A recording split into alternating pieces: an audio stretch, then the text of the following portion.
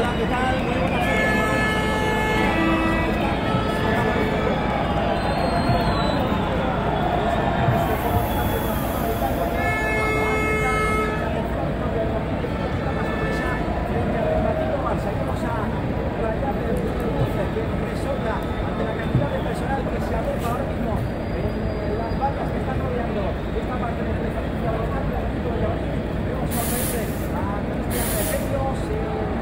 Baja del autobús es el Sergio Gómez, los auriculares y hemos visto la imagen de que se tiene muy sonriente viendo el altavoz espectacular y además sonriente.